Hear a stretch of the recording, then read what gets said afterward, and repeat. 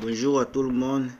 Bonjour à ceux qui m'écoutent. Naba oh baza ko comprendre nga vraiment. Je vous dis bonjour encore, bonjour et encore bonjour. Ba vidéo na tie botala, bino moko botala et puis bo comprendre analyse oyo naza, naza kolinga kobimisa. Analyse oyo naza kosala. Botala nano ba vidéo wana et puis au décolle.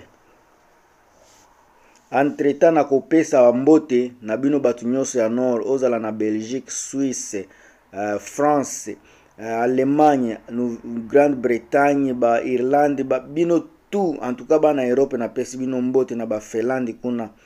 Bino bato tout boza na Canada, napesi bino mbote, ozala na Montreal, Toronto, Ottawa, Quebec, uh, ba winnipeg alberta na cote edmonton na ba um, calgary napesi bino mbote bana british columbia colombie britannique uh, grand monde états-unis bino tout napesi bino mbote en tout cas bavideo boti komona eh, ya bana ya fali ipupa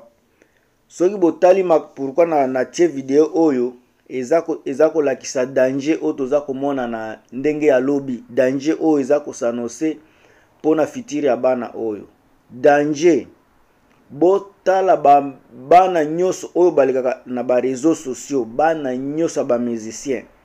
baza rare amweke bazala bafigure publique neti didi stone ya, ya, ya kofi olomide ye aza figure publique mwana moko ya fuera son azoyemba ye mpe akomi figure publique me bamisusu wana bazalaka ntuka na makambo mpenza mingi ya bareseau sociaux te amweke bazala balekisa deja age bakóma na baage ya kimokolo okomona ata bana ya jb baza mpenza reserve basi kitoko reserve mwana ne ya mobali nde abimaka mwa moke moke me baza reserve mpo comprendre makambo na bango eza presque impossible éducation bazwi eza makambo oyo parceke bapapa na bango bapara na bango mingi ba, mingi mingi vi na bango eza ya publike botala ata bavie lwambo makiadi nani ayebaki bana na ye batabulei bato baye koyeba bana ya vie tabule parce eza na bango baza bajournaliste na bamusicien bango mpe bakomi bahomme public bafigure publique na age nini sika to soki totali bana ya fali ipupa na age deja ya ba 15 a 16 a oyo bana bakomi deja expose sur bareseau sociaux nayebi te soki lelo to lobi nde bakotika totala baplace misusu bastare oyo tomonaka libanda ezala te kaka congo mpo eh, ekomi eh, systeme ya sika botala mpe pembeni ezala bana ya ba maitre gims bamonanaka te botala bana ya ba mewe ba musicien ebele mpenza baza na ba renome bana na bango bazalaka mpenza ya kobombana parceke makambo ya ba réseau sociaux eloko moke ebimi eza deja dega neti bano boza komona bomoni abiyema ya mwana wana soki ya ba 14 abiyema wana toyebi ke baza na poto me eza na babiloko oyo ekolanda bango soki balandi bakarriere ya banini baservice public eza na biloko oyo bakoki kosala lisusu te bakoki kosala na vi na bango te soki bakolanda carrière moko ya, ya nini ya batravau ya batravau ya, ba, ya publike wana ya baguvernema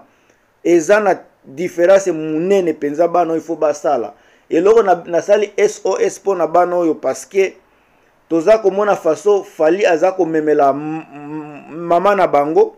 faso fali aza kodenigre mama na bango naza kobanga bana oyo mpe lobi soki bazwi mibali mibali babanda kotraite bango mpe ndenge wana soki fali azwi beau fils oyo akobanda kotraite bana na ye oyo faso aza kotraite mama na bango je ne passe pas ekozala eloko ya bie ekozala eloko ya mabe c'est pour cela ere baza koexpose bango boye bakomi expose mingi ngai naza komona nde sika lobi baavenir ya bana parceke biso toza bapara toza bato oyo toza komona eloko nini ekozala ekokoma lobi surtout ere oza mwana soki boza mpe bana ya ba personne publique ya bato ya, ba, ya, ba, ya libanda botali makambo donald trump kaka kozala président bana ne baza na baproblème ebele mwana ne kutu ya suka wana atambolaka na donald trump bato bafingaka ye chaque jour ke mwana wana azalaka ne kizengi atambolaka balandaka ba acte na ye nyonso me lelo eza na bafile oyo soki lobi mwana wana ake kokoma président bakolanda basystème médicaux na bango nyonso pour, pourquoi façon na ye baza komona deja na jeunesse eza mwa jare bana oyo mpe ya fali ipupa basi kitoko toza komona e baza bafierte ya miziki ya, ya, ba, ya nini fierte ya, ba, ya basi ya congo ma exposition baza kotika bango na bareseau sociaux bokoki komona mpe boye bandi moko boye aye akidnape bana parceke bayebi deja bana ya star mbongo ekobima naza komona baza expose chaque jour baza na ba instagram baza na makambo ebele baza kosala compare na ba, bana ya bastare misusu baza wana bango baza mpena inaperci bakomonaka bango na biloko wana te parceke il faut bazala focalise il faut bayeba ke ma papa na bango aza nani par rapport na bango eza na eloko bakoki kosala mpenza pamba pamba te amweke amweke ezala lese ale moko boye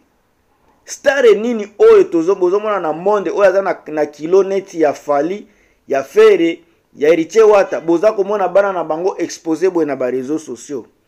eza rare eza mpasi mpo bomona sika mutu toza kobenga aza na, aza na ora na niveau ya congo kote visibilité parmi bato oyo baza na bavisibilité fali mpe aza na kati me tala bana ya fali ba, faso baza expose libanda boye chaque fois eloko moke chaque jour par, en tout cas chaque jour eza na baimage bavideo ya bana wana na bareseau sociaux soki baza na, na plan ya kozala bapersonne publique eh bani bainfluenceuse eza bien mais na genre nini fo babanda deja il faut bato bayeba bakomi bainfluenceuse na likambo boye na marke boye parceke likambo oyo ekoki komema bango soki e, ekoki kokanga bango soki balingi basala carrière politique soit banini baservice nini publique ekoya kokanga bango bato baza kocomprendre te bato bakoloba eza delire ya bana me mwana nyonso delire ezalaka na, na degre na yango bana oyo basalaka ba, ba delire avec ambition politique delire na bango eza différent compare na delire ya bana oyo bazokende kaka na ba travail neti ya, ya général eza deux choses tellement très différentes il faut mpena kodifferencie ko bano baza nano tozoyoka eza na bo bakosala loi bakosala droit na niveau ya droit soki lelo ekosala e, e nango bie soki azwi droit akoki na personne publique mais soki alingi kopose candidature na baplace moko ya likolo bakobimisa babiloko nde nyonso ya kigenese ya kibobebe eza na bafoto positionnement ekoya kolakisa keno mwasi oyo aza devergonde mwana oyo abongi na place wana te mpo na jeunesse na ye deja ezalaki boye bato ebele barata bakariere na bango ya kitoko kaka mpo na bafoto bato ebele barata bakariere na bango mpo na babiloko ya badelire ya jeunesse oyo alors tosala na yango keba soki eza vie baza na plan ya kokende na carrière politique te soit na baservice moko ya oyo eza mpenza nini très sensible soki baza na biloko wana bafoto ya boye baimage ya boye il faut babanda koyeba ndenge ya ko, ya ko nini ya ko ya kokanalize yango na bareseau sociaux eza na baimage mosusu eza ya yo propre na bafamille na image yo kotya na publike ero tye eloko na publike bato bakangi yango moto ayebaka te soki okoleka wapi lobi bino boza nanu bana bano baza nanu bana bayebi makambo te bato oyo baza baresponsable na bango bolakisa bango banzela parceke makambo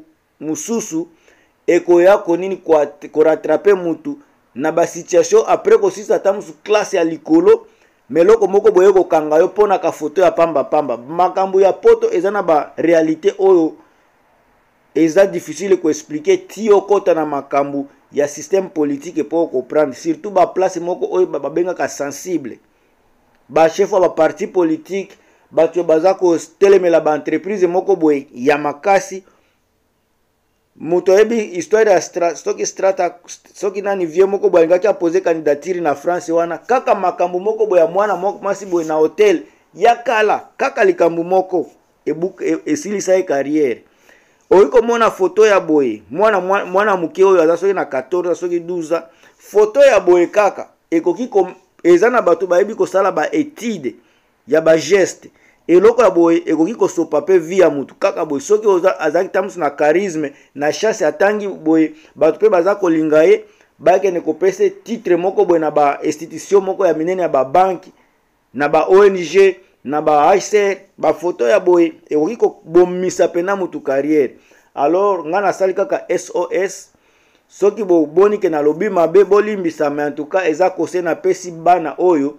baza ba avenir ya mboka na biso bakoki kozala mpe balider un jour ya ba, ya ba, na monde oyo moto ayebaka te esika makambo eza kokende alors eloko na kosenga na bino kaka apart makambo oyo bobosana kosabone te massivement lisusu parce que chaîne oyo eza place ya ba impact ya ba idéologie ebele omoni idéologie ya boye bato balobelaka yango te apart badelire ba ya kofingafinga en tout cas ngai nazoya na makambo ya bien bosabone bopartage bopesa bapoint de vie na bino ya na se wana en tout cas ça va faire du bien on est dans le bon et à la prochaine